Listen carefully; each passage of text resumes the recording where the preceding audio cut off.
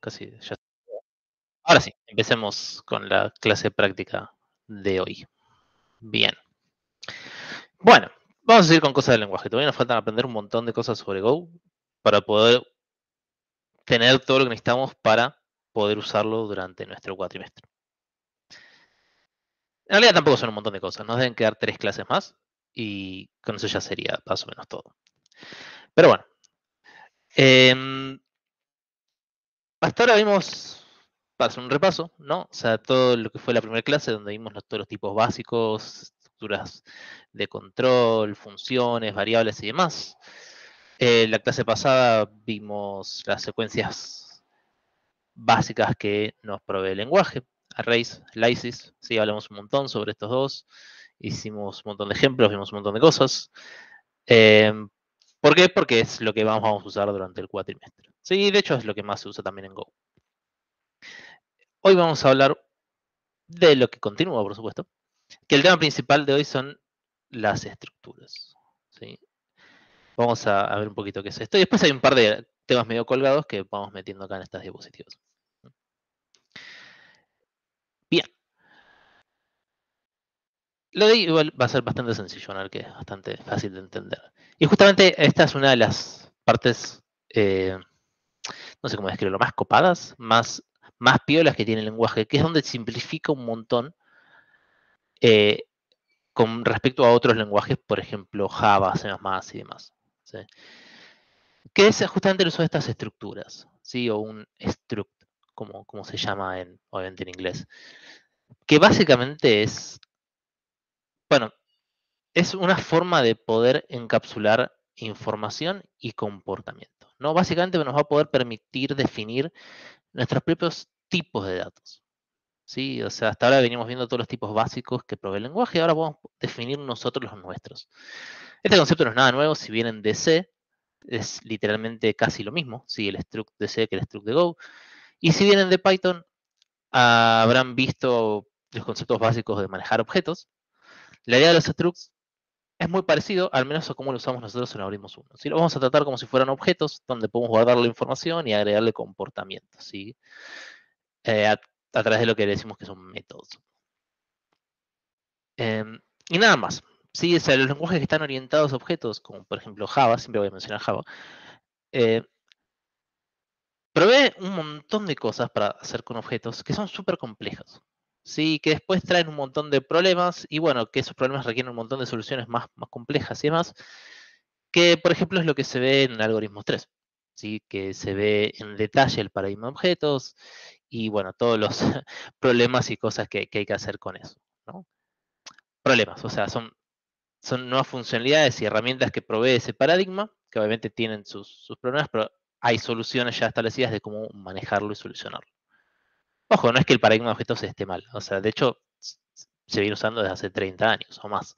Entonces, lo, que, lo que provee Go es simplemente una manera distinta de manejar, esto que es mucho más sencilla.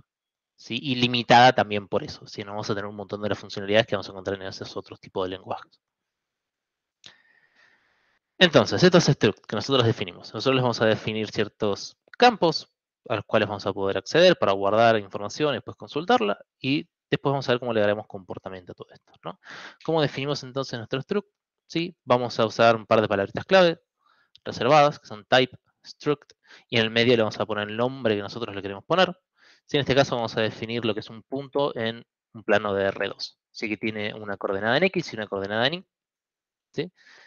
que a priori definimos que son enteros, podrían ser flotantes, por ejemplo, ¿sí? pero para hacerla más simple yo le puse enteros, nada más por eso. Una vez que la definimos, esta es la definición de nuestro tipo. Y acá le estamos diciendo qué campos va a tener. Y además le estamos diciendo el nombre, por supuesto, que es lo que decía recién. ¿sí? Va a ser el nombre con el cual después lo vamos a poder crear. Y estos son los campos que va a tener que es lo que justamente queremos representar nosotros, ¿no? Profe. Sí. ¿Cuál sería el miembro ahí? X e Y son los campos o miembros de nuestro struct punto. ¿sí? Punto va a ser el tipo nuevo que estamos definiendo. Y estos son justamente, en Go se le suele decir campos, porque se le dice fields en inglés. Pero le podemos decir miembros si quieren. Eh, que es la información que vamos a guardar en nuestro tipo. Gracias. Fíjense lo siguiente. Acá nosotros estamos definiendo una variable p que va a ser de tipo punto. Si acá venimos poniendo int, string, slice, lo que fuera. Bueno, ahora el tipo va a ser punto que definimos acá arriba. Y a la derecha creamos un nuevo punto, una nueva instancia de un struct de tipo punto. ¿Qué le estamos diciendo? Básicamente, bueno, vas a tener en el campo X el valor 1 y en el campo Y el valor 3. Esta es la sintaxis con la cual se usa. Se pone el nombre del tipo del struct, las llaves y dentro de las llaves, campo por campo, vamos especificando qué valor tiene cada uno. Una pregunta. ¿Los, ¿Los campos se escriben con mayúscula? Gran pregunta. Tiene que ver con eh, lo que mencionamos, no sé si se acuerdan hace dos clases. ¿Lo que sea global? Sí, no es exactamente que sea global, sino que es exportable.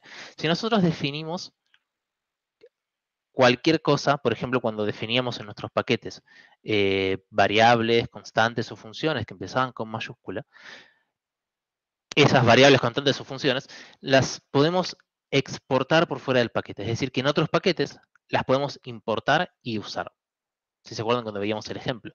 Si las definimos con minúscula, eso no va a ser exportable al paquete. Entonces no se pueden usar por fuera. Esta idea es la misma. ¿sí? O sea, si yo voy a usar mi, tipo que defino acá únicamente en mi paquete y no lo voy a usar por fuera de mi paquete, yo puedo definirle los campos con mayúscula o minúscula, no me importa. Pero si voy a querer usarlo por fuera, mismo también el tipo, ¿no? Si yo defino el tipo struct con mayúscula, lo voy a poder usar desde otros paquetes importándolo. Pero si nosotros lo usamos solo interno, la verdad que no importa, no, no va a cambiar nada por ahora. Solo el primer, la primera letra, ¿no? Claro, en este caso, como bueno, el campo tiene una sola letra, es en mayor. Pero sí. Entonces, una vez que ya le definimos esto, bueno, podemos definirlo de varias formas distintas. En este caso de acá abajo, yo defino P como que tiene la i que vale 3, pero no le defino un valor para x. Sí, fíjense, en el primer caso yo le defino ambos valores y en el segundo caso le defino uno solo. ¿Qué se imaginarán que tendrá esto en la variable x? Si no se la defino. Cero. Ah, ahí me respondieron. Cero, sí. ¿Por qué? Porque es el valor por defecto de los int. ¿sí? Ahora ven que va creciendo también esta idea de darle el valor por defecto. Porque si yo quiero justamente ponerle 0, ahora no necesito definirlo manualmente. Yo sé que ya va a tener ese valor. Va a haber un montón de casos de uso donde tiene sentido poder hacerlo así y ahorrárnoslo es bastante conveniente. Un poco más de sintaxis y otras formas de hacer esto, podemos, por ejemplo, crear un punto de la siguiente manera. Si acá fíjense que le estoy dando dos valores y no le estoy especificando qué campo tiene qué valor. Lo que estoy logrando con esto es como le estoy pasando todos los campos que tiene mi struct, puedo obviar ponerle el nombre del campo. ¿Qué es lo que va a tomar después Go? ¿Cómo va a entender esto? Bueno, va a decir, ok, el primer valor que me pasa corresponde al primer campo. El segundo valor que me pasa corresponde al segundo campo. Y así, obviamente, para todos los valores. Entonces los machea automáticamente. Lo cual me evita, si yo sé que voy a tener que pasarle todos los campos al struct, porque lo quiero crear con todos los campos, en vez de especificarle uno por uno yendo en orden, me ahorro escribir un montón de cosas. Y voy uno por uno escribiendo de esta manera. Lo cual tiene sus pros y sus contras, ¿no? Eh, ah, dos puntos igual. No, asuman que es la misma variable y la estoy redefiniendo todas las veces, claro. es un detalle de, las diapositivas. obviamente no tiene sentido que alguien haga esto en un código de verdad porque nunca vas a estar definiéndolo y pisándolo todo el tiempo, pero bueno, nada, es, simplemente por eso. Em, decía, tiene sus pros y sus contras esta idea de pasarle el, nombre del campo implícitamente. ¿Por qué? Porque si de repente yo agrego un nuevo campo a mi struct, todas estas llamadas las voy a tener que modificar. Porque voy a tener que agregarle el nuevo campo. Si lo agregué adelante, en el medio o atrás, tengo que reordenar las cosas. Eh, pero al mismo tiempo me estoy asegurando de que todas las veces que yo estaba instanciando un punto, no me esté olvidando de pasarle nada. caso un poco más concreto. Imagínense si ahora el punto que yo definí ya no quiero que sea en R2, sino quiero que sea en R3. Le quiero agregar el campo Z. Si yo lo definiese en todo mi código de esta manera, donde ya le paso explícitamente el X y le paso explícitamente el Y, si yo le agrego el nuevo campo al punto, esto va a seguir compilando, va a seguir funcionando. Y no hay ningún problema. El Go lo entiende perfectamente y sigue todo lo más bien porque tiene su valor por defecto, ¿no? que va a ser el 0. Pero quizás yo no quería que pase eso. Quizás yo quería que, como estoy cambiando la definición del punto, yo quería asegurarme que todas las veces que cree el punto, lo cree con el nuevo valor z. ¿Sí? Entonces yo voy a tener que asegurarme todas las veces de pasarle ese nuevo valor. Imagínense que creo puntos en 25 lados distintos, tengo que acordarme yo de cambiarlo a los 25 lados. Si en vez de hacer eso lo instancio de esta manera de acá abajo, ya el compilador me va a decir, che, te faltaron estas 24 partes a actualizar. Y no me va a dejar correr el programa hasta que no actualice todas las llamadas. Como les decía, es, es, depende uno lo que quiera hacer ¿no? y cómo le sirva a su programa. Si yo quiero que pase exactamente lo opuesto, y bueno, va a ser medio molesto esto, ¿no? Porque ahora necesito pasarle un nuevo valor o cambiar, bueno, nada. Detalles que irán viendo ustedes, como les conviene. Sí. En ese caso sería como de que declaraste una variable y no la estás usando cuando declaras un fields y no, y no lo declaras. Más o menos, o sea, es, simplemente porque esta sintaxis así requiere que le pases todos los campos. ¿Por qué? Porque es la única forma que tiene Go de entender lo que vos le estás pasando, porque no le estás nombrando campo por campo, entonces tenés que pasarle todos. Y si de repente le agregaste un campo a tu struct, bueno, vas a tener que agregárselo a todas estas llamadas.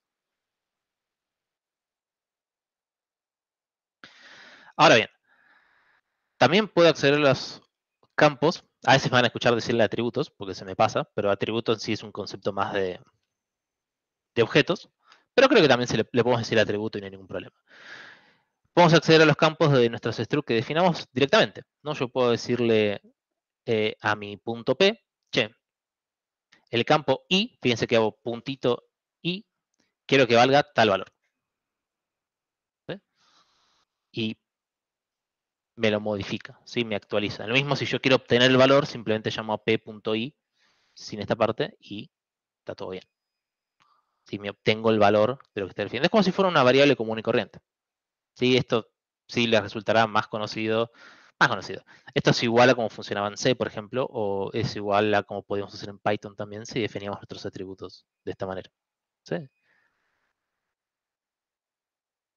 ¿Qué más podemos hacer? Podemos definir un punto vacío. Fíjense que acá yo no le estoy pasando ninguno de los campos.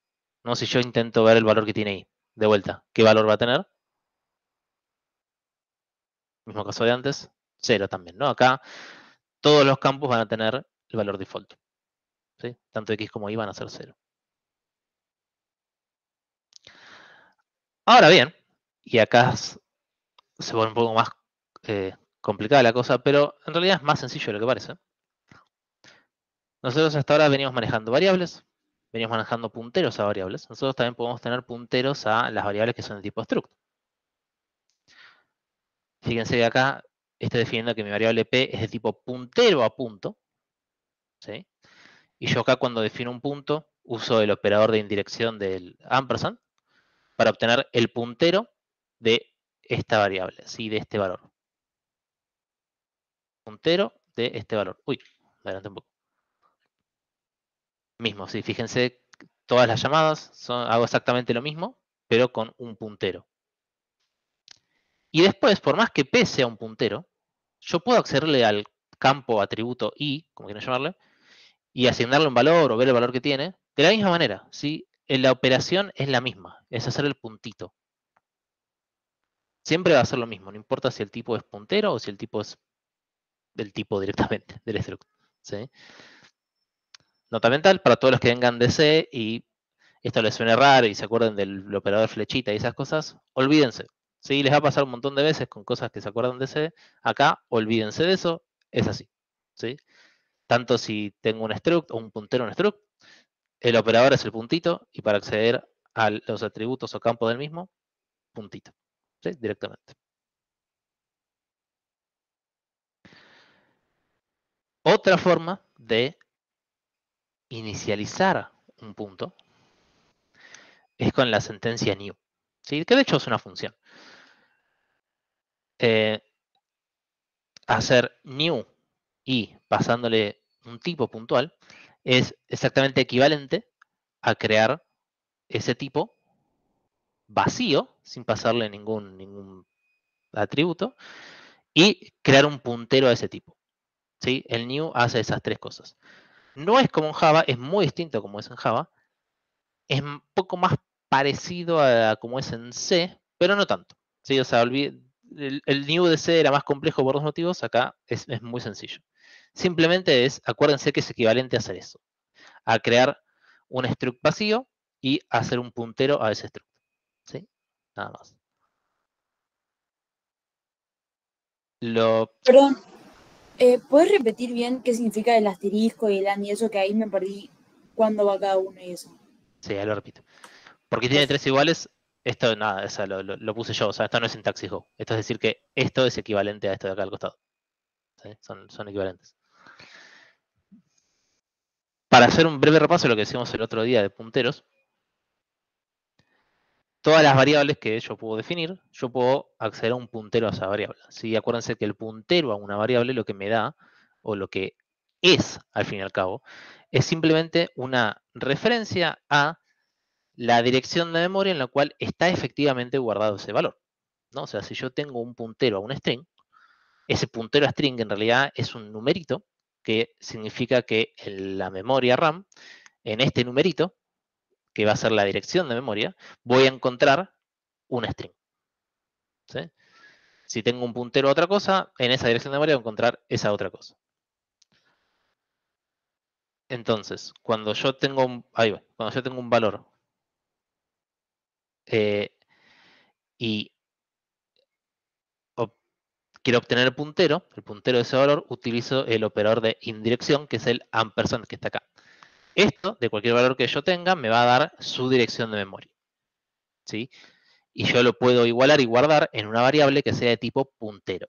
¿sí? Cuando tenemos el asterisco del lado izquierdo, eso me está diciendo que la variable es de tipo puntero a este tipo que yo tengo acá. ¿sí? En este caso es puntero a punto.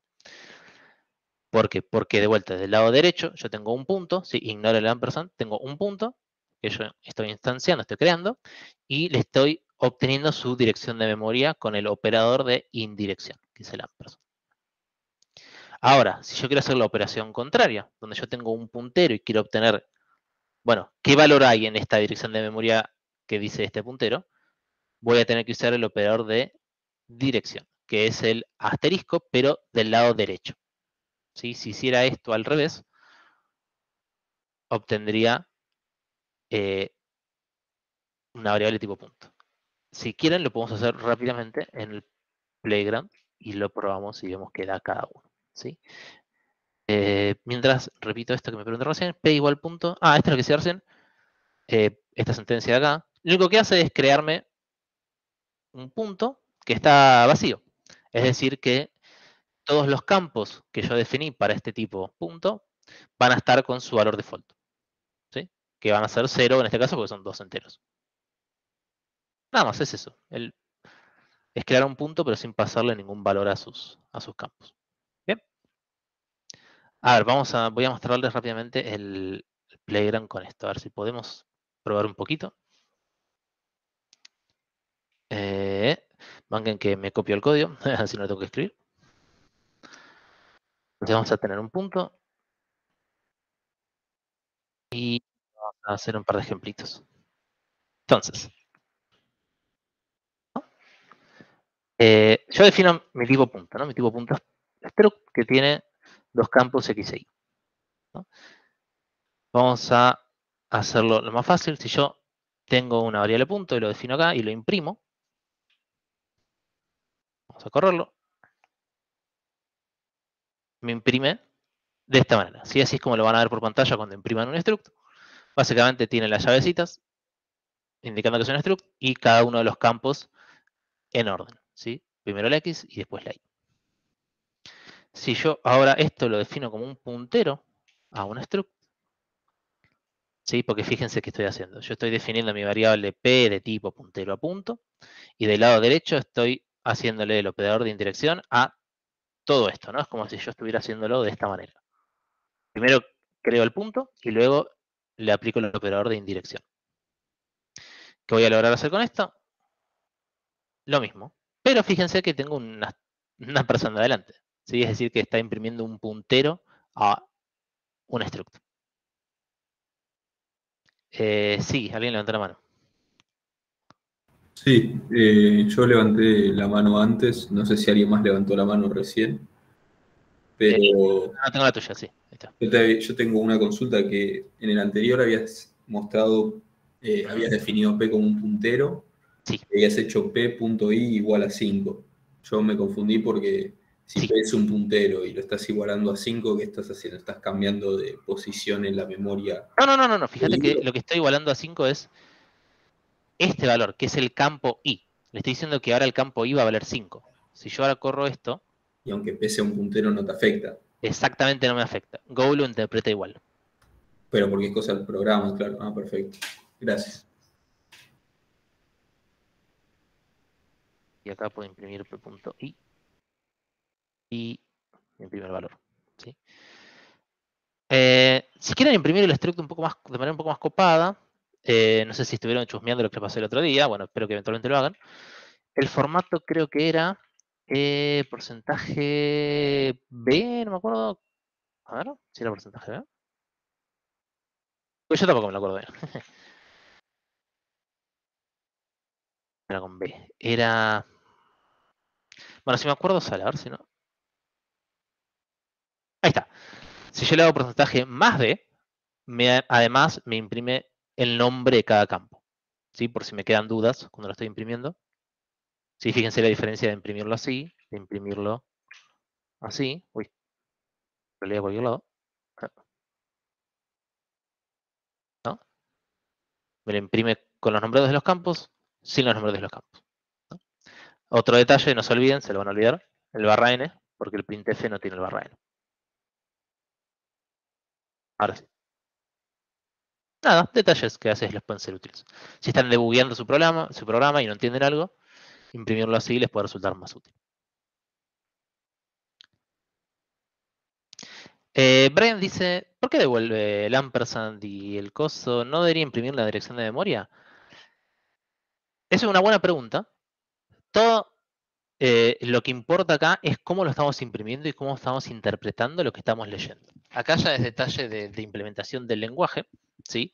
Obviamente los que vienen de C y trataban de imprimir un puntero, les iba a saltar un número horrible. Acá podemos lograr lo mismo si ponemos porcentaje P. Si recuerdo bien. Uh, sí, ahí va.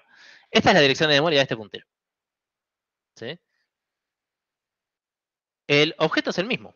¿sí? P es un puntero, un punto. No cambió. Lo único que cambió es cómo yo lo estoy imprimiendo. Al pasarle este, no sé cómo se dice, modificador, eh, a la función de printf, lo que está queriendo hacer con porcentaje P es decir, ah, de esto tengo que imprimir la dirección de memoria. Entonces me muestra eso. Cuando le paso porcentaje B, dice, ah, tengo que imprimir los campos. Entonces me imprime eso. ¿Sí?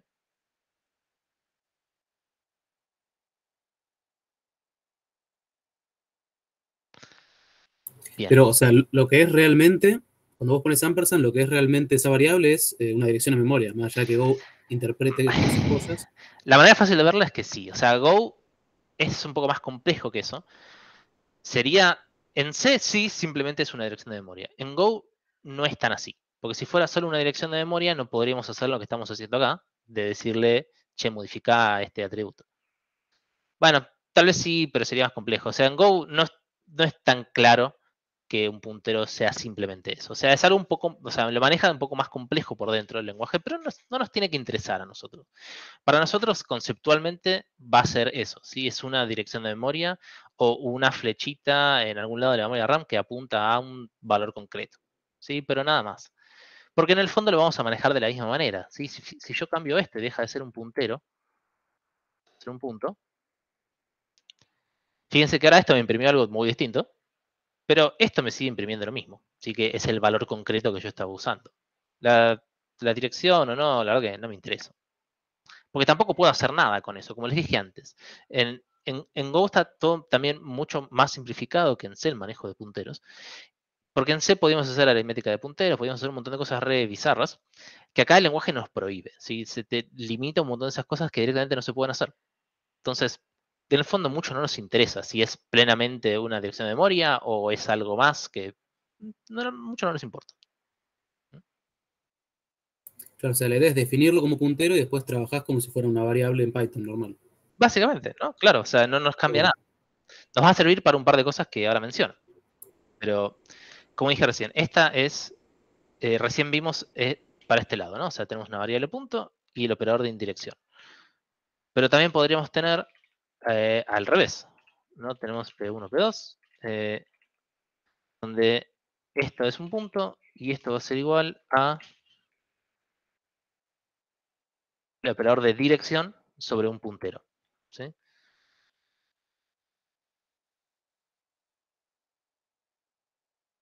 Piensa, o sea, la variable P2 es una variable de tipo punto que va a ser el valor al cual apunta la variable P1, que es la que definimos acá. Y fíjense lo siguiente. ¿Qué esperan que pase en el siguiente caso? Yo defino la variable P1 como un puntero a esto, la variable P2 que es el valor al cual apunta P1, y yo estoy modificando P1 diciéndole que ahora el campo I va a valer 5. P1 y P2, ¿qué me, van a mostrar por pantalla? Lo mismo. Lo mismo, porque cambian los dos. ¿Alguien no le parece esto? ¿Alguien opina lo contrario? Porque al fin y al cabo estamos opinando, ¿no? estamos un poco adivinando, pero vamos a ver qué pasa. Chan, chan, chan. Chan, chan, chan. ¿Qué pasó? No son lo mismo, ¿no? Me gusta cuando, cuando no pasa lo que todos esperan. El segundo punto sería simplemente eh, un extract que no es un puntero, digamos, ¿o no? El segundo punto, esto no es un puntero, exacto. Solo almacena el valor que tiene en la memoria el primero. Ajá, entonces. No, no, eso quería saber nada más. es que claro, es eso al fin y al cabo, ¿no? Porque lo que estamos diciendo es que como P2 almacena el valor en sí, acá estamos yendo a buscar qué valor tiene P1. ¿Sí? O sea, mejor dicho, a qué valor apunta P1. Esta me devuelve el valor al cual apunta P1 y me lo guarda en esta variable. Pero esta variable apunta a un lugar en memoria distinto a donde está guardado esto. ¿Sí? Que es distinto al cual apunta este. Entonces, son dos cosas distintas. Y cuando modifico uno, no se me va a ver reflejado en el otro. ¿sí? porque están apuntando a dos lugares distintos. Distinto es si yo lo hiciese al revés, donde me, permiten cambiar esto, donde yo defino un punto de esta manera, defino un puntero a este punto. Fíjense que hago todo lo opuesto. Y ahora voy a hacer cambio P1. Que P1 ahora es el, el punto y P2 es el puntero al punto. Entonces, Ahora sí, ambos van a tener el mismo valor, porque el puntero sí está apuntando al mismo valor que el que, no es el puntero, básicamente, porque está apuntando a ese justo. Claro, como dice eh, Lucas acá, cuando teníamos la sentencia anterior, estábamos copiando el valor. ¿sí? O sea, no es lo mismo.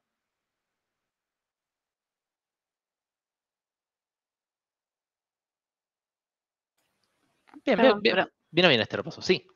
No terminé de entender por qué acá sí se modifica con el porque, no, puedo hacer dibujitos, pero porque acá la variable P2 está apuntando al valor que nosotros estamos guardando en esta variable. ¿sí? Sí. Entonces, cuando yo modifico el valor en el cual está guardado esto, y yo imprima el valor que está en P2, esta variable sigue apuntando a este valor que se modificó. Entonces, como está apuntando al valor que se modificó, vamos mostrar el valor nuevo. La variable P2 no se modifica, ¿sí? lo que se modifica es al cual está apuntando.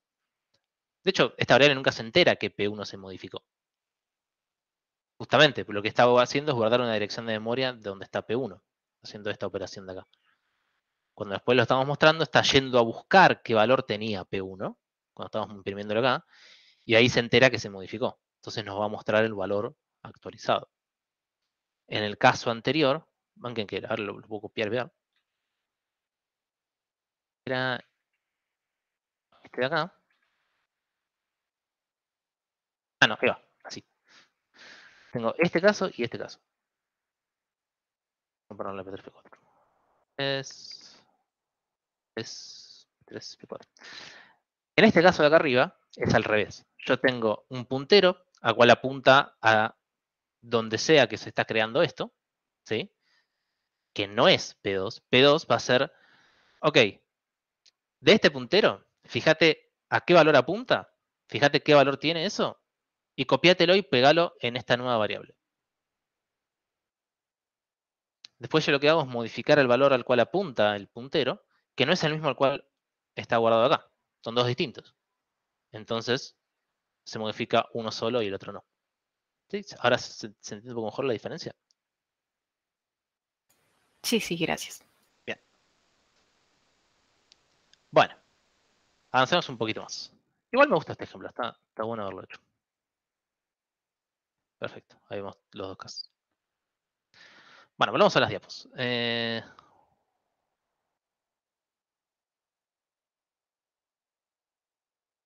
Bien. Eh, ¿Dónde estamos? Ah, me borró todo. Ah, tenemos que dejarlo acá, sí. Eh, sí, pregunta. Sí, tengo una, tengo una pregunta sobre lo que significaba lo último, que es el ampersand punto los corchetes. ¿Qué, qué significaba eso? Es lo mismo que dijimos antes. Acá estamos creando un, un punto. ¿Dónde está el puntero láser? Eh, un, pun- un punto vacío donde todos sus campos van a tener su valor default según su tipo.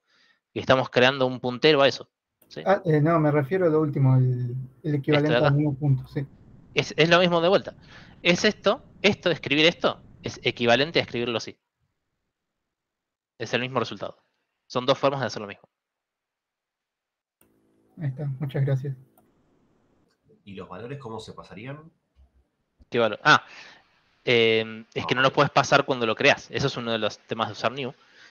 Tenés que asignarlos después a mano cuando hacemos, por ejemplo, esto de acá. Ok, ok. ¿sí? Gracias.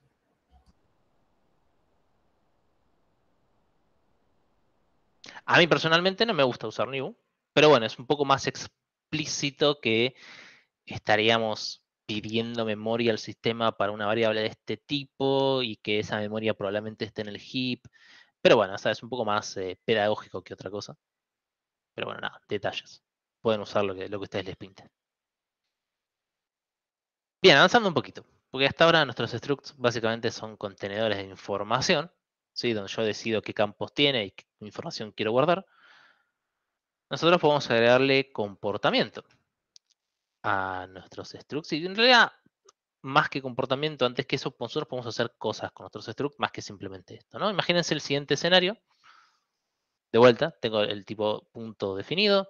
Tengo un main donde yo estoy creando un punto nuevo. Estoy pasándole a esta función el punto. ¿sí? Esta función lo que hace es modificarme el punto cambiándole la variable i. ¿Sí? Lo mismo que hacíamos recién. ¿no? Yo puedo tranquilamente pasar eh, mis structs entre múltiples funciones, hacer lo que yo quiera en cada lado. Y lo que está haciendo al fin y al cabo acá es imprimir por pantalla el valor de, de, nuestro punto P, ¿no? Finalmente. ¿Qué valor esperen, esperan que tenga eh, esta última línea? No sé si puedo hacer. Me gusta que Martín use las encuestas, pero me apaga porque no las tengo preparadas. Así que para la próxima lo hago. ¿Qué, qué valor esperen que muestre acá para punto? O sea, ¿qué valor esperen que tengan en, X y qué valor esperen que tengan Y? Entonces dicen 3.0, 3.0, 3.0. La función esta es una función común y corriente, ¿no? Está la función que está recibiendo un tipo P, perdón, un tipo punto, ¿sí? Una variable P. Esto es lo mismo que si estuviera recibiendo cualquier otro tipo, no hay nada raro ni nuevo acá en lo que estamos viendo. Eh, bien, me gusta que esta vez eh, prestaron atención y que se dieron cuenta de que no me va a modificar el punto, ¿sí? Porque como todo lo que se pasa eh, por argumento en Go es por copia. Entonces, este punto que le estamos pasando acá lo está copiando. ¿Mm?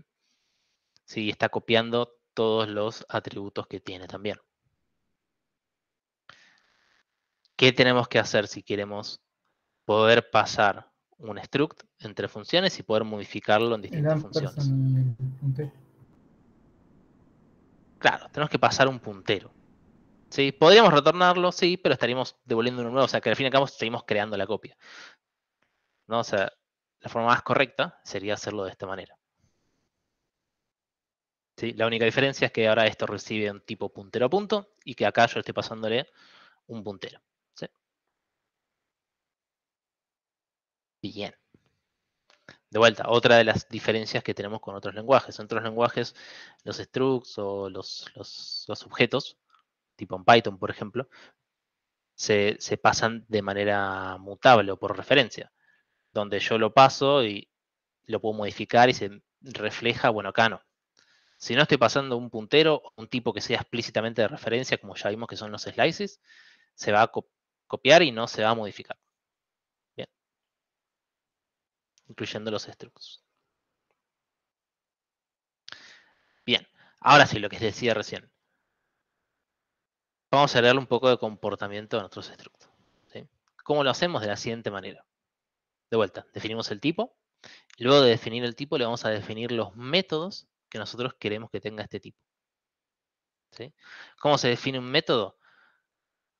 Tiene, eh, no sé por qué no le puse las flechitas, ahora que lo pienso, pero tiene eh, obviamente la palabra reservada de función, tiene el nombre de la función, los argumentos que recibe, los valores que devuelve, y tiene una parte nueva que es el receiver, que es lo que viene acá entre la palabra reservada función y el nombre de la función.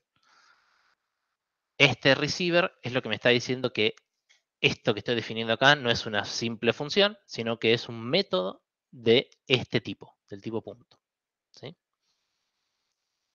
Entonces, lo que estoy diciendo acá es que estoy definiendo este método para el tipo punto, ¿sí?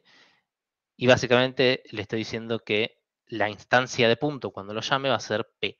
Entonces, si quiero, por ejemplo, calcular la distancia del origen de un punto cualquiera, defino el método de distancia del origen, que va a valer un float 64, y calculo, obviamente, la distancia del origen, que es la raíz cuadrada de hacer eh, px al cuadrado más y al cuadrado, ¿sí? que básicamente es p por x, px por p por x, y más pi por pi, que p es lo que definimos acá como receiver.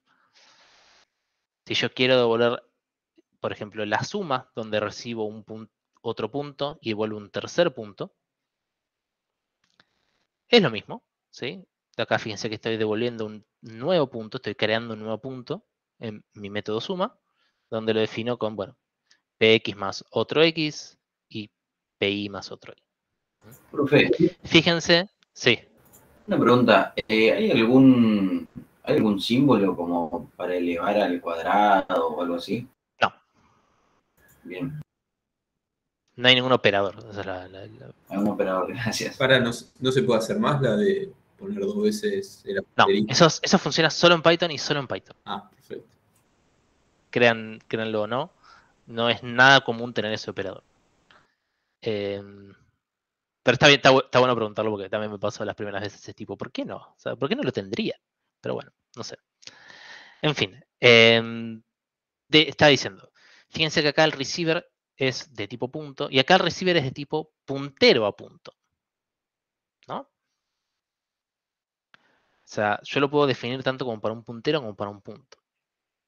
En el fondo no me va a diferenciar en muchas cosas. Fíjense lo siguiente. Yo acá estoy creando un punto, estoy creando un puntero a un punto, ¿sí? Punto, puntero. Y en ambos yo voy a llamar al método de la misma manera. O puntito, puntito, el nombre del método, los argumentos, que en este caso no sé ninguno. Y esto va a funcionar, si me va a devolver lo que yo esperaba.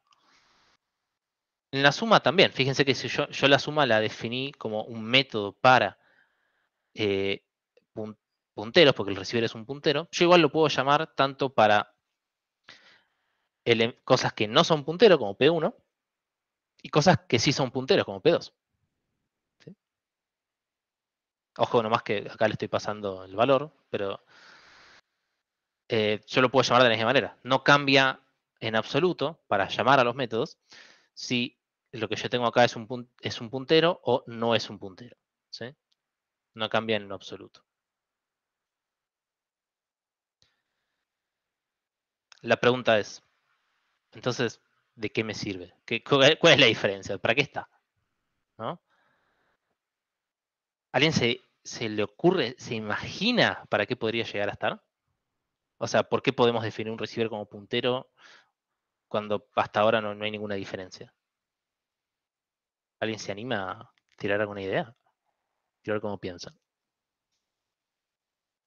Porque puede ser que algún field del extract sea eh, un puntero.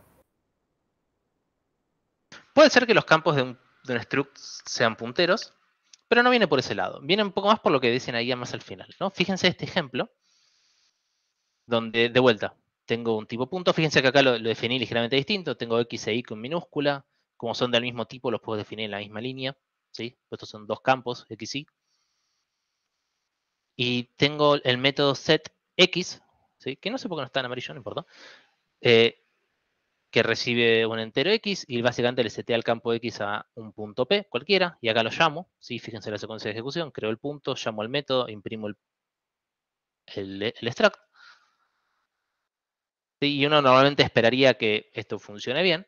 La realidad es que esto no funciona como a priori uno lo pensaría. Porque de vuelta, pasa exactamente lo mismo que lo que veníamos hablando hasta ahora. Como este receiver es de tipo punto, ¿sí? Lo que estamos haciendo es copiando este P a esta función. ¿sí? Lo estamos copiando. Todo se pasa por copia. El receiver también. Entonces este punto no es el mismo punto que tenemos acá afuera. Entonces queremos modificarlo y estamos modificando la copia, no el original. ¿Sí? ¿Qué tenemos que hacer? Definimos que el receiver sea de tipo puntero. Fíjense que es lo único que cambia. ¿eh? El resto del código no cambia nada. Pero ya este pequeño cambio es lo que hace que esto ahora funcione bien. Y ahora me, muestre el valor correcto. Lo cual puede dar lugar a problemas, y, esto yo lo, admito, no está bueno en el lenguaje, que es que eh, si no nos damos cuenta que no tenemos un, un, receiver de tipo puntero y hacemos esto y nuestro código lo corremos, esto no falla en ningún lado. Y esto puede ser que sea algo mucho más complejo que simplemente definir un punto con un X y con un Y, y que 10 funciones más adentro algo está fallando y está pasando mal. Y nos tardemos un montón en darnos cuenta de que este era el problema. ¿sí? Eso es algo que a mí no me gusta puntualmente. Tranquilamente te podría tirar un warning en el compilador diciendo, che, ¿estás seguro de esto? Pero bueno, hay que, hay que prestarle doble atención a estos casos. ¿sí?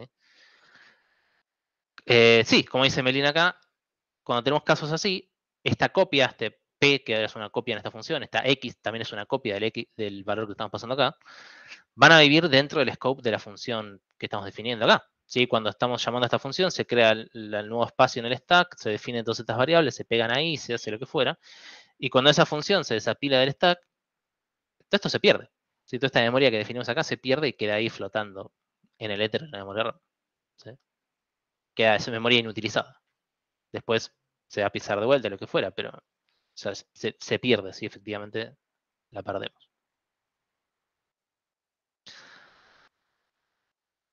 Como corolario, no sé. Eh, el, el, tema de manejar punteros parece complicado, pero la verdad que es bastante sencillo en el lenguaje.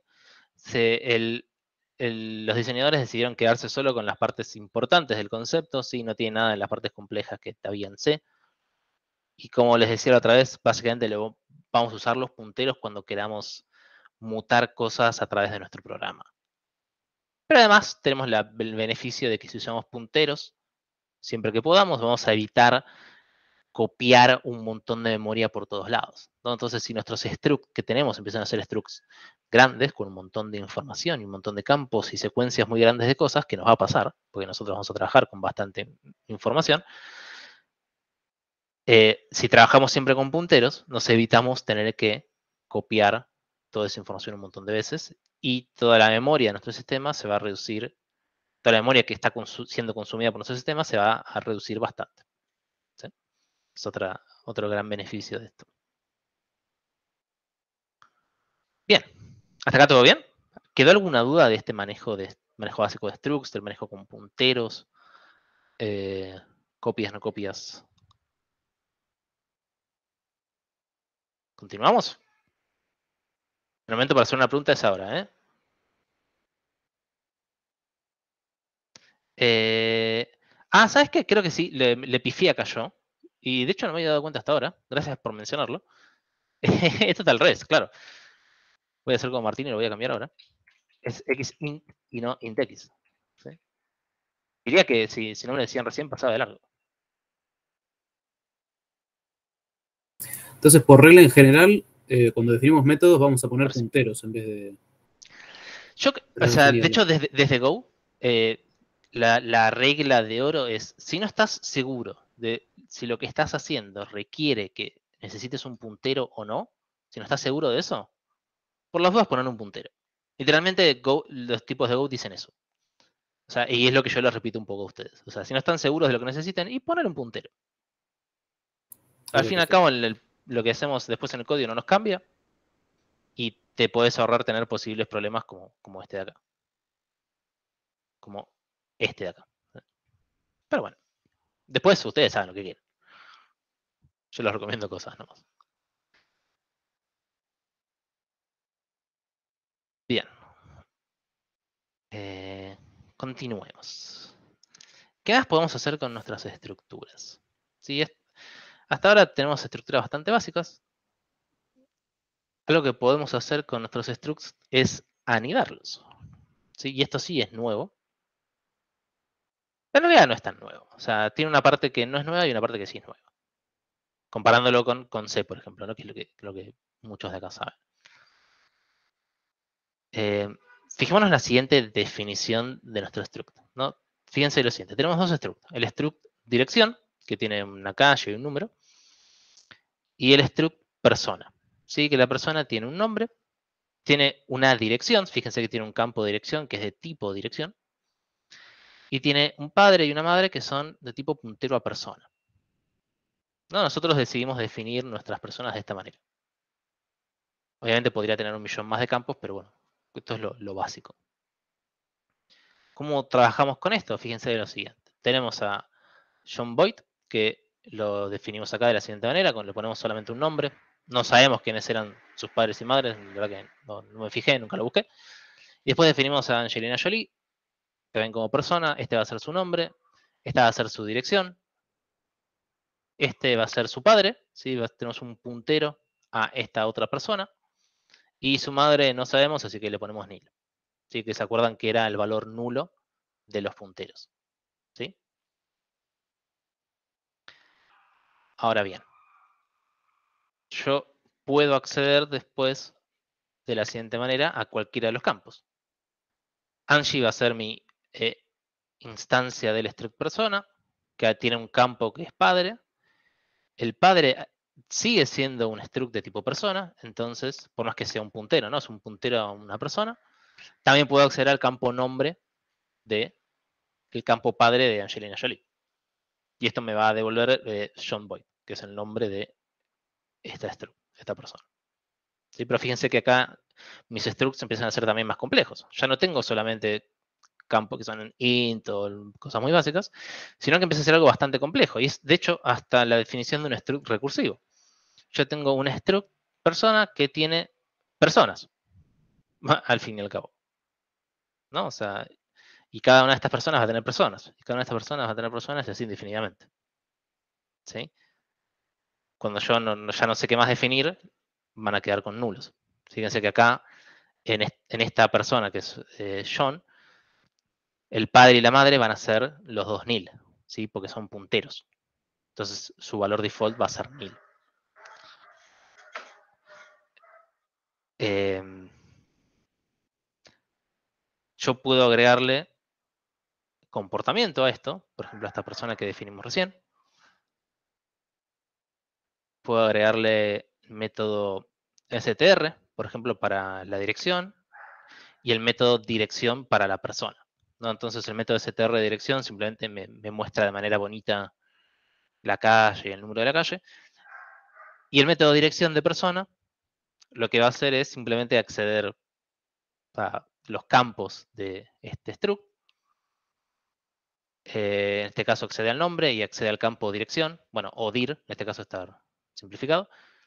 Y fíjense que llama al método str de este struct de acá, que me va a devolver este string. Y este string lo estoy básicamente concatenando con lo que estoy poniendo acá. Y al fin y al cabo lo que yo llamo en mi programa va a ser persona.dirección y me va a devolver todo este string combinado con este string. Profe, Sí. ¿por, por qué el STR eh, va con minúscula? Eh, de vuelta, es, es lo mismo como los defina si los voy a usar únicamente dentro de un solo paquete. Porque, de vuelta, porque definirlo con mayúscula o minúscula importa solamente si, vo- si exporto esas definiciones afuera. Si yo estoy. Y eso también va, por ejemplo, para los tipos de struct. ¿sí? Si estos struct yo los definiera en minúscula, los podría usar únicamente en el paquete donde los estoy definiendo. Y no los podría usar afuera.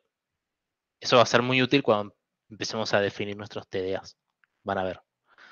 Si yo los defino con mayúscula, los voy a poder usar desde afuera. En este caso simplemente usé minúscula porque no sé por qué usé minúscula, pero es igual de Ante la válido. duda, mayúscula. Y ante la duda, de hecho, mayúscula no es, no es una mala idea. Porque las- en los casos en los que no querramos exportar algo, va a ser bastante obvio. ¿sí? Cuando nos demos cuenta de eso, decimos, ah, entonces le pongo minúscula para no exportar esto. Bien. Eh, si la dirección está en minúscula, persona la exporto, salta error porque no se exporta dirección. Eh, no, no, es, una buena pregunta, de hecho. Por ejemplo, ¿qué pasaría si dirección está en minúscula y persona está en mayúscula y hago cosas así? Lo que va a pasar es que voy a poder instanciar personas de esta manera, ¿sí? Voy a poder acceder a persona.dirección, por ejemplo, pero no voy a poder insta- instanciar direcciones de esta manera, ¿sí? Porque esto de acá no lo voy a poder hacer, porque no voy a poder llamar a esto. Y entonces va a ser medio al pedo, porque puedo crear personas, pero no puedo ponerles direcciones. Entonces nu- nunca voy a poder hacer nada con eso. Entonces, error te va a saltar si intentas usarlo, sí. Pero no estaría mal. O sea, no estaría mal a nivel eh, sintáctico. ¿no? O sea, sí estaría mal a nivel semántico porque no puedes usar direcciones y tenés personas que no pueden usar direcciones. Entonces. Se, por- se exporta un extruct, de un extruct a otro. No, no, no, no lo pienso por ese lado. O sea, se, exporta el, el, el, el en sí. O sea, de vuelta, voy, no voy a poder llamar a este tipo de cosas, pero sí voy a poder acceder al campo dirección de la persona. Eso sí voy a poder hacer, no se preocupen.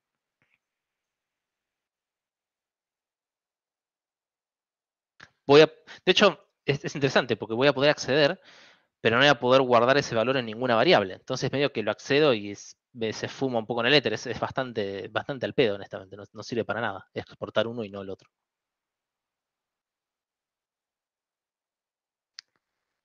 Pero es una buena pregunta, sí, porque cuando tengamos este tipo de cosas, si exportamos esto, vamos a tener que exportar los que están adentro también.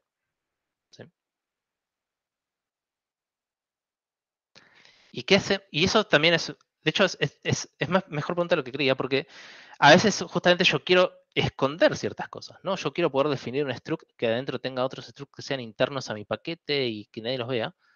¿Qué deberíamos hacer en ese caso? Hay, hay alguna forma que se, que se pueda resolver.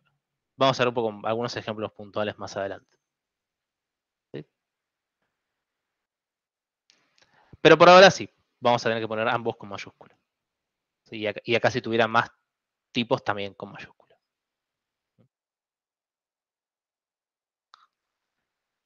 Bien, llegamos hasta acá.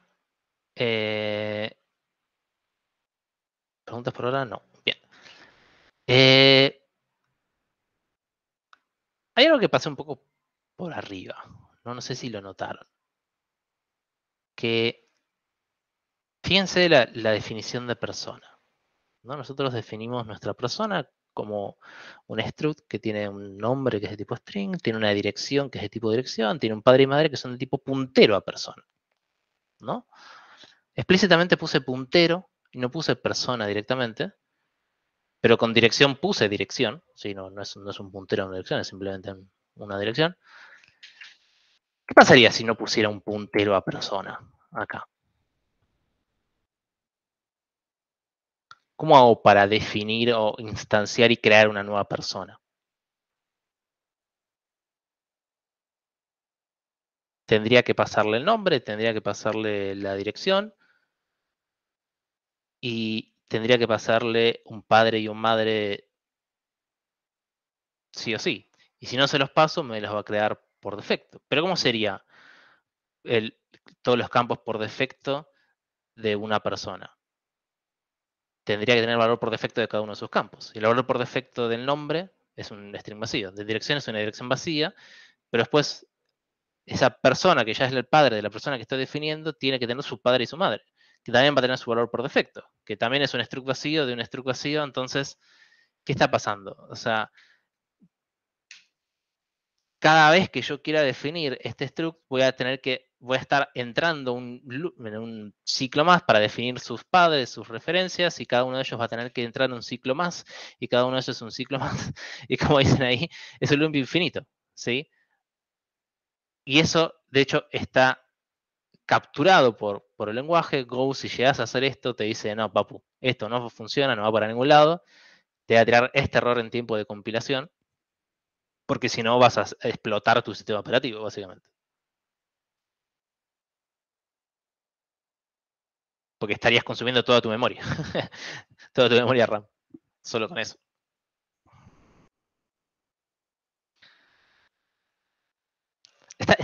es súper interesante que, el lenguaje capture este tipo de cosas ¿no? y, te, lo diga en momento de compilación. a, mí me resulta asombroso. Al mismo tiempo, otras cosas no los tiene, como lo que hablamos antes de poder detectar que un, que un método no tiene un receiver de tipo puntero, eso no lo detecta. Pero bueno, no sé. A veces hay que vivir con, lo que hay. Em, ¿Qué más? ¿Qué, ¿Qué, quise hacer acá? Eh, ah, fíjense lo siguiente. El siguiente caso, ¿no? O sea, eh, no sé cómo mostrárselos fácilmente. Tengo esta de acá, sí, fíjense cómo defino acá dirección, que tiene una calle, un número, y cómo defino persona, que persona tiene un nombre, tiene una dirección, ¿sí? un campo de dirección, que es de tipo dirección, y tiene un padre y madre que son de tipo persona. Si yo ahora les muestro esto de acá, ¿qué cambió?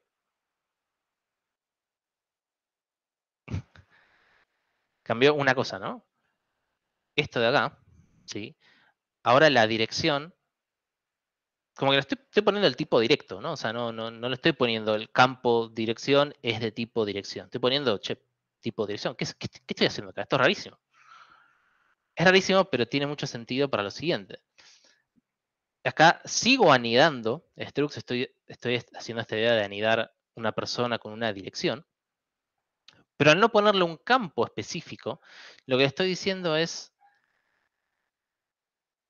más o menos lo siguiente todos los campos que tenga este tipo que estoy poniéndole acá, o sea, calle y número, incrustalos acá, en persona. De manera que yo los voy a poder acceder directamente. Vamos un ejemplo de cómo funciona. La instanciación, la creación de esto va a ser igual. ¿sí? O sea, yo creo a la persona, le paso un objeto de dirección, fíjense acá. Fíjense acá que cambió el orden nomás porque puse esto arriba que el otro. Pero el modo de crearlo es igual. Pero acá cuando llamo a los campos que serían de dirección, por ejemplo la calle, llamo directamente a persona.campo, o sea, persona.calle. Y eso ya me devuelve el nombre de la calle que pertenece al struct dirección, el cual estoy anidando dentro de persona.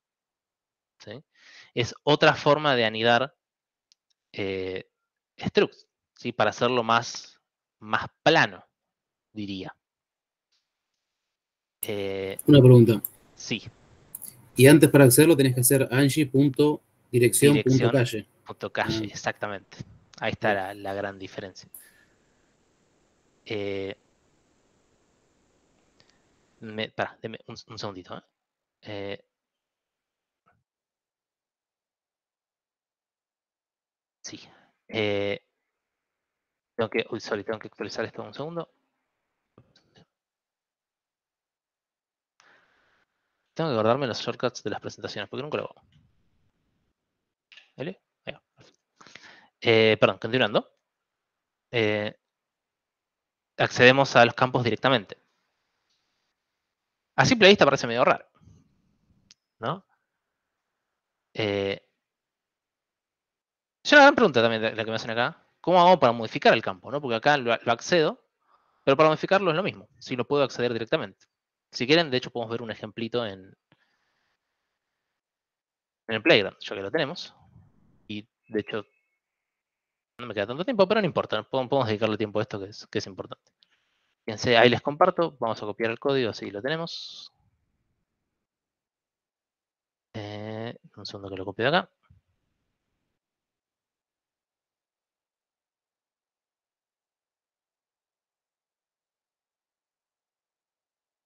Y les comparto este tab. ¿No? Sí, ahí va. Eh, bien, tenemos entonces la dirección, la persona, igual que como definimos recién. Creamos nuestra persona y acá lo llamamos, ¿no? Si yo corro esto de acá, eh, uh, rompí. Ah, ups, eh, cambié algo sin querer. Ahora sí. Dirección tiene calle, inserto, ¿cómo, ¿cómo, es la palabra correcta? Eh, eh, anido la dirección dentro de la calle. ¿sí? Acá llamo directamente a persona.calle, me devuelve la calle. Y los campos que ya tenía los puedo acceder normalmente, ¿no? Nombre es de la persona.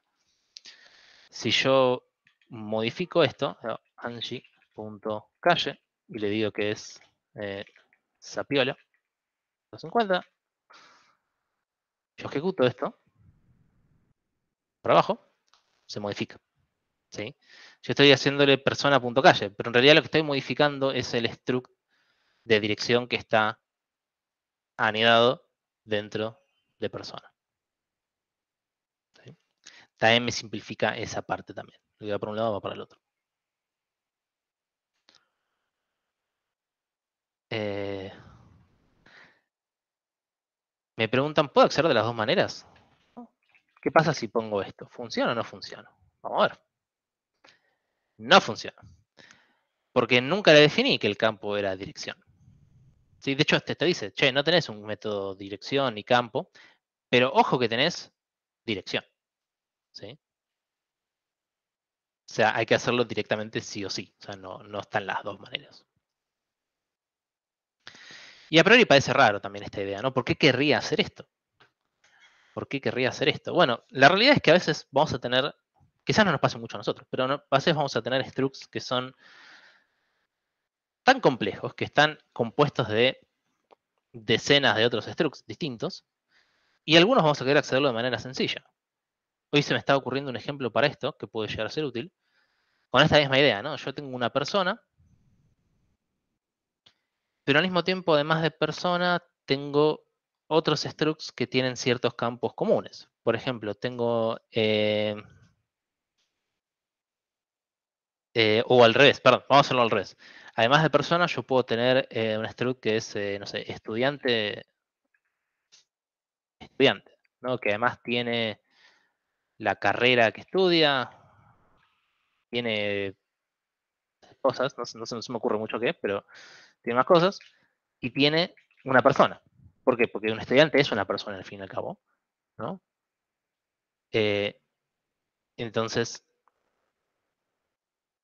le estoy diciendo, che, este estudiante quiero que tenga todos estos campos y además quiero que tenga todos los campos de una persona. O sea, quiero que tenga nombre, quiero que tenga dirección y demás. Y si además la persona tenía dirección, o sea, me evito tener que anidar un montón de niveles hacia adentro para hacer cosas como estudiante, dame la dirección del estudiante, ¿no? Que es tan simple como poner estudiante.dirección, si hago todo de esta manera. Y esto se puede complejizar la cantidad de niveles que queramos. Puedo tener un estudiante FIUBA que tiene un estudiante y además tiene padrón y tiene más cosas. O sea, piensen un poco por ese lado. O sea, esto está pensado en el gran nivel cuando tenemos cosas complejas, en serio. Profe. Sí. ¿Dirección eh, tiene un nombre también como field? Em, ahora que me dicen, puede ser, porque, en ese caso no se pisaría el nombre de la variable nombre si yo pongo punto nombre nomás. Eh, es una gran pregunta y ahí, y ahí lo vemos. ¿sí? Pero antes de eso, teníamos calle string y tengo número string. Y creo que alguien me dijo que pruebe haciendo esto, ¿no? Que de hecho lo voy a probar. Y tengo un error rarísimo. Que no me acuerdo si alguna vez lo había visto.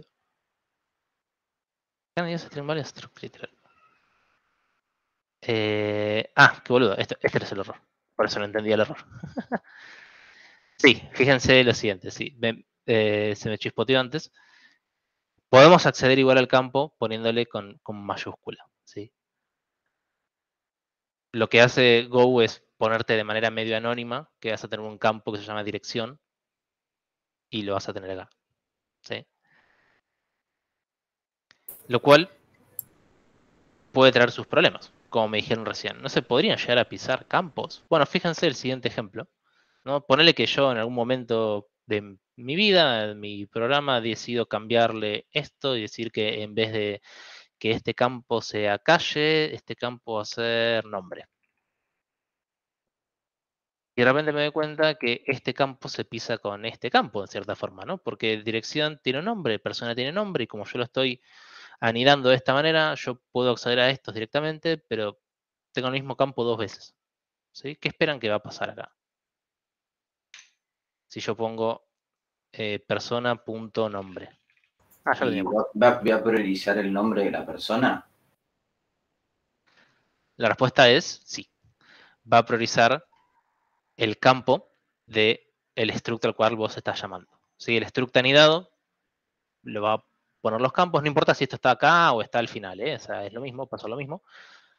a dar cuenta que se pisan dos campos y dice, bueno, de entre los dos me quedo con este de acá. ¿sí? El otro lo tiro, lo pierdo. Ojo con eso, porque les puede pasar entonces que tengan este tipo de situaciones y de repente se les pisen los campos y no entiendan muy bien qué es lo que les está pasando. Es que al otro lo podría llamar directamente poniendo dirección punto nombre, ¿no? Vamos a ver que... ¿Es una buena pregunta? Creo que sí. Vamos a escribir dirección nombre. Creería que sí. Sí. Ahí tenemos el nombre del campo propiamente dicho. Eh, me habían preguntado si la struct dirección tuviera métodos, los puedes acceder si anidas así. Sí, perfecto, sí, sí, tal cual, es la misma idea. Los voy a poder acceder eh, sin necesidad de poner en dirección. Vamos a probarlo. Yo tengo el método de dirección, que dijimos que era el str, por ejemplo, o el string, si lo podemos ver así. Este sería un poco más go. Y devolvemos eh, una cadena que diga puntos. Ay, creo que Ah, compile sin eh, y dirección punto nombre. vamos a ponerle calle de vuelta para no pisarnos. No sé, yo vuelvo a tener calle. Llamo calle, sí. Eh, y si yo acá imprimo... Eh, ah, es que el método string es particular. Vamos a decirle str. Y si yo acá llamo que tenemos que llamar a angie.str, ¿no? Este es lo que dijimos que debería funcionar. ¿Por qué? Porque estoy anidándolo directamente. Este es el método del coso anidado. Debería poder llamarlo. A ver, vamos a ver qué pasa. Rompimos algo. Eh, falta ponerle el tipo de retorno. Bien, nos olvidamos un detalle. Eh, una vez más. Ahora sí, ¿no? Perfecto, lo puedo usar tranquilamente y este método ni siquiera me pertenecía, le pertenecía al struct que tenía anidado. Y esto es bastante potente porque nos va a servir para cosas que vamos a ver en la clase que viene. ¿Sí? Acuérdense de esto que les digo recién, para que va a tener todavía más sentido cuando veamos el próximo tema. Bien, eh, todavía nos falta un poquito. No vamos a terminar todas las diapos, pero no importa. Em, que tenía acá, este creo que es el ejemplo que estuvimos haciendo recién. Sí, cuando yo le piso el nombre, me muestra el nombre del struct eh, padre, por decirlo así. el del original, no del anidado. Eh, sí, todavía tenemos unos minutos. Quédense conmigo un cachito más, ya terminamos. Este fue el tema importante de la clase de hoy. Ahora viene un poco de relleno, pero el relleno es importante. Em, ¿Qué les dije la vez pasada? Que en, Go nosotros íbamos a manejar errores, no como en C y no como en Python tampoco. ¿sí? Vamos a tener una manera muy particular de hacerlo. ¿sí? Vamos a ver que hay un tipo especial ¿sí? dentro de nuestro lenguaje que es el tipo de error. Ah, no estoy compartiendo las diapos, qué. Eh, ahí está. Es un tipo especial que es el tipo error. ¿sí? Que este tipo especial lo vamos a utilizar justamente para indicar cuando hubo un error en este programa. ¿sí? En cierta idea es un poco parecido a excepciones, solo que no tiene su mecanismo especial para manejarlo, ni devolverlo, ni usarlas, sino que los errores son simplemente un valor más de nuestro programa, ¿sí? Que es distinto al panic. El panic es ese error irrecuperable que mencionamos antes, parecido al segfault, que igual se puede recuperar, pero no es la forma normal de manejar los errores. ¿sí? Los panics están hechos para manejar cosas excepcionales, cosas donde el programa dice, che, no puedo seguir. Para cualquier otro tipo de cosas, por ejemplo, el ejemplo que teníamos en la clase pasada, donde queríamos calcular eh, qué índice tenía cierto elemento en tal slice y el elemento no estaba en el slice, ¿sí? en vez de devolver menos uno, en vez de levantar un panic, en vez de hacer una excepción, vamos a devolver un error. ¿sí? Que como decía recién, el error es un tipo más de variable que podemos usar y lo vamos a devolver como un valor más. Entonces vamos a tener casos como este. Fíjense, en el paquete de strcomp tenemos la función atoi, que lo que hace es convertir o intentar convertir un string en un entero. ¿sí? Entonces me va a devolver dos valores. El valor convertido a entero, si lo pudo hacer, y un error. ¿sí? Fíjense que devuelve dos valores. El entero y el error. ¿sí? Este er es de tipo error que mencionábamos recién. Y lo que van a ver en todos los programas de Go es la siguiente sintaxis. Cada vez que yo tenga una función que puede devolver un error, ¿sí? yo lo tengo que manejar de la siguiente manera. Tengo que chequear si devolvió un error, ¿sí? porque el error tiene como valor default el nulo. Entonces, si esa función atoi me devolvió un error, es porque lo que está guardado en la variable er es distinto de nil. ¿sí? Entonces, algo malo pasó. Entonces lo tengo que chequear y si esto es verdadero, bueno, manejo el error como quiera hacerlo yo. En este caso, manejar el error es simplemente mostrar por pantalla este mensaje. Pero podría ser algo más complejo, donde de repente en vez de hacer cierto flujo en mi programa, hago otro flujo. ¿no? Como, como podría pasar en, cualquier lenguaje donde manejo los errores. Eh, si no, ahí, ahí responde la pregunta. Si no hubo un error, si esto es nil, significa que esto tiene un valor válido y lo puede usar. Entonces voy a ver qué, qué valor es. En este ejemplo puntual van a ver, si lo corren, que justamente va a dar un error. Y va a ser este error. ¿no? O sea, si lo mostramos por pantalla va a ser esto de acá. ¿Por? Porque justamente este string no lo puedo convertir en un entero. Eh, me dicen, en el TP0 tenemos un ejercicio de comparación, ¿no? Que podemos doblar tres valores. Y me dicen, si te llega un Ah, vos decís que si, o sea, eh, ojo, ojo, eso es muy distinto. O sea, vos decís que la función de comparación devuelve tres valores, vos llamás a esa función y después chequeás el valor. Eso no, es para manejar con un error. De hecho, eso no debería pasar, porque tu función de comparación debería devolver entre esos tres valores, menos uno, cero y uno. Entonces, no sería correcto usar errores ahí, pero eso es más conceptual igual. No, estamos adelantando un poco. Eh, los errores son justamente para casos donde puede pasar que haya un error. O sea, es un flujo de programa válido. Que una función de comparación me devuelva un valor que no es ni menos 1, 0 o 1, no es un flujo válido, es un flujo inválido. ¿Sí? Entonces no hay que usar errores para manejar eso. De hecho, no debería ser un error esperado. No deberías por qué tener que chequear eso. Porque la función te dice, che, devuelvo 1, 0 o menos 1.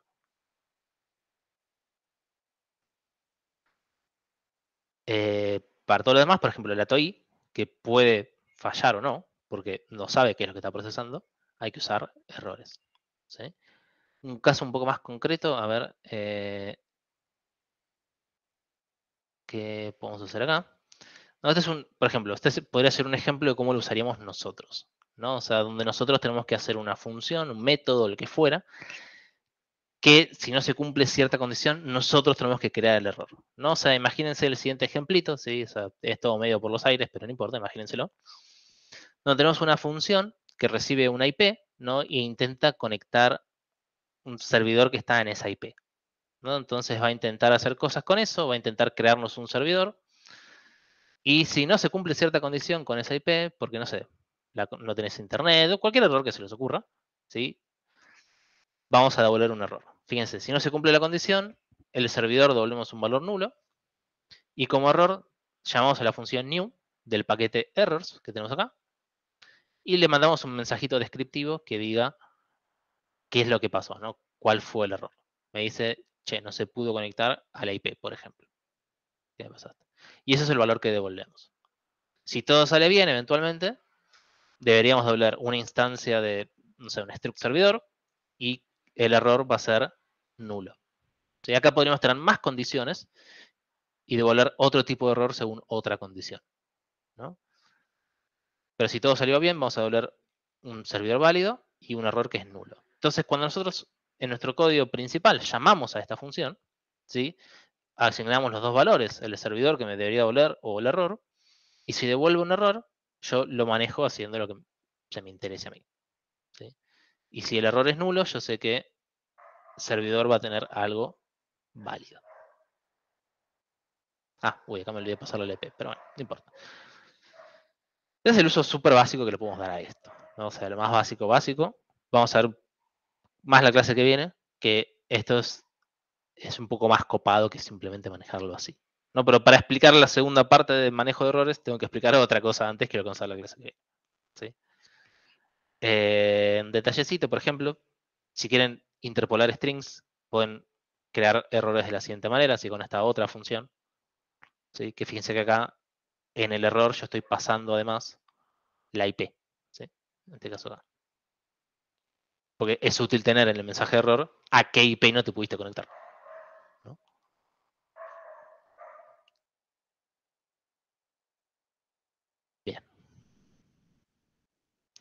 Si no cumple, devuelve nil. Si no cumple, ¿qué? O sea, si no cumple la condición, fíjate que el servidor va a ser nil y el error no va a ser nil. Entonces, cuando chequeo la condición acá, manejo el error porque es distinto de nil. Y si el error es nil, el servidor va a ser algo válido. Entonces, manejo esa variable. Esta es la forma de manejar errores de este lenguaje y probablemente es el aspecto más polémico del lenguaje. ¿Sí? Porque mucha gente, o casi todo el mundo, la primera vez que ve esto, dice, ¿por qué me están haciendo esto? ¿Sí? O sea, 60 años de evolución de software para hacer algo muy cavernícola, pero créanme que tiene sentido, ¿sí? Y mm, es bastante menos choto de lo que parece. A mí me resulta bastante bien. La clase que viene, cuando terminemos de ver el, tema, les, debatimos un poco el concepto. Pero bueno, hasta acá llegamos hoy, ya son y media. Me faltan un par de diapos, pero las vamos a la clase que viene y no pasa nada. Son, menos importantes. Eh, bien, listo. Podemos cerrar acá. Em, bien, ah, pueden, quedarse a hacer todas las preguntas que quieran. La clase igual terminó, se pueden ir. Vayan a disfrutar su lunes. Y nos vemos la clase que viene, que es el lunes que viene. Se conoce que el viernes es feriado. Nos vemos en una semana. Buenas noches. Bye, bye. Bueno, buenas noches. Eh, Fede, tengo una, duda. Sí, bancame que respondo el del chat ah, rápido, que me preguntaron antes y ahora, y ahora voy con vos. Sí. Eh, si no, ah, ya lo respondí. La función ATOI de antes siempre devuelve dos valores. Exacto, la función ATOI devuelve siempre dos valores. Devuelve el valor convertido, si lo pudo convertir, y devuelve error. Si nos devuelve un error, nosotros tenemos que manejar el error que maneja, que, que devuelve. Y el otro valor, puede llegar a tener un valor que no sabemos cuál es. puede que sea cero, puede que sea el valor default, puede que no. O sea, la recomendación es, de hecho, o sea, no está especificado qué valor puede tener, porque si esto devuelve error, esto, nadie te asegura qué valor tiene. Nadie te dice que vale cero porque es el valor default. Entonces, literalmente hay que ignorarlo. ¿Sí? O sea, la forma de trabajar con eso es ignorarlo. El código que hiciste de los strings lo puedo subir. ¿Qué código de strings? Eh, ¿El de los puntos? Eh, es lo mismo que está en el ejemplo de las diapos. O sea, si me preguntan por eso. O sea, pueden, pueden jugar con, las diapos de antes y van a lograr lo mismo. Perdón, me había preguntado Lorenzo antes. Eh, sí, em, antes Martín estaba hablando sobre una guía de ejercicios. ¿De qué está hablando? Eh, no, sí, pero de, la guía de ejercicios. Em, eh, este cuatrimestre estuvimos migrando cosas a RPL y cuando digo estuvimos, lo hizo Martín. ¿Se escucha? Sí, sí. Ahí está, ese, ese puede responder. La, guía de ejercicios está en formato, digamos, texto en la página de la materia. Pueden ir a la parte que van al, digamos, recursos para estudiantes, guía de ejercicios. Ahí está toda la guía. Además, eventualmente, y si tenemos la posibilidad, vamos a tener eh, todos los ejercicios que requieran escribir código, una forma de tener una página web en la que ustedes agregan su parte del código y se ejecuta ese código para ver si está bien eh, escrito, compila y, es exitosa la ejecución. Pero mientras tanto, está en la guía de ejercicios para escribir, para hacer ejercicio en su casa como para cualquier materia. Sí, como tenían en los 60. Está perfecto. Eh, sí, después ya no sé quién iba en la, fila. Yo te quería consultar, profe. Eh, estuve haciendo unas pruebas usando Switch y tengo una duda con el OR. Eh, bueno. Cuando vos comparás dos parámetros en una condición. podemos dejar de grabar ese si querés, así que eso ya, ya está.